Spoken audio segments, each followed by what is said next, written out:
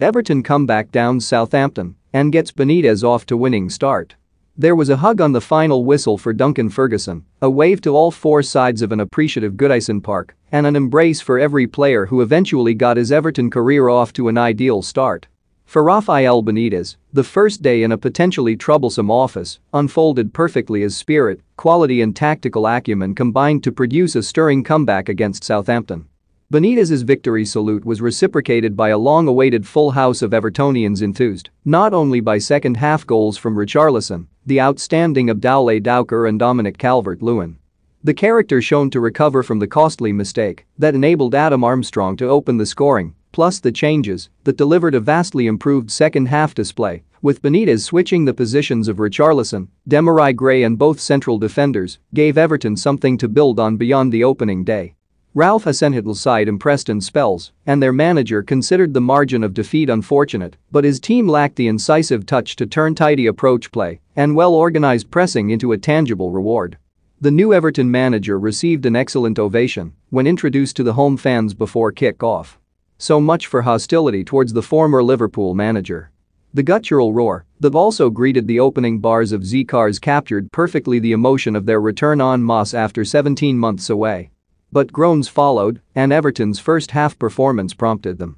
A careless display from the central defensive pairing of Michael Keane and Mason Holgate in particular. Everton, with five senior players isolating due to coronavirus issues, started brightly with new signing Gray to the fore. Southampton were solid and absorbed the early pressure well, but had created little when a dreadful mistake by Keane gifted them the lead. The Everton defender dithered too long in possession midway inside his own half Che Adams dispossessed Keane and released Armstrong in the process.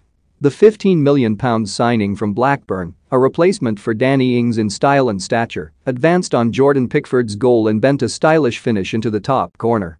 Confidence evaporated in the home ranks and rose in the visitors. Armstrong tested Pickford from a tight angle after Adams beat Holgate in the air yet again. Keane almost averted Adams' attempted through ball past his own goalkeeper after his defensive partner had squandered possession carelessly. Richarlison was booked for a dive Tom Daley would have been proud of. Adam Armstrong opened his Southampton account in confident style with an excellent finish on his Premier League debut.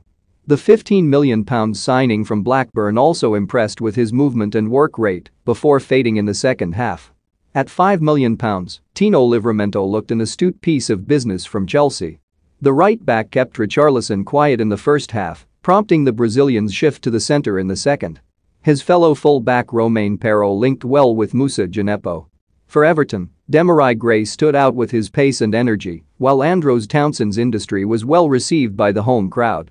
Andy Hunter It was an ominous opening to Benitez's Everton career, but he oversaw a vast improvement for the second half, and his more aggressive positive team were quickly level.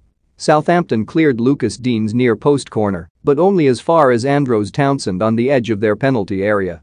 The debutant sent a looping header back into the box where the unmarked Richarlison, played onside by Mohamed Salisu, volleyed into the roof of Alex McCarthy's net from close range. Benitez switched Richarlison inside with Gray moving to the left to good effect. Southampton fought back, with James Ward-Prowse delivering a series of dangerous corners and Romain Perraud combining well with Moussa Djenepo down the left. But it was Everton who finished in the ascendancy and secured victory with two fine team goals. The much-maligned Alex Iwobi was involved in both.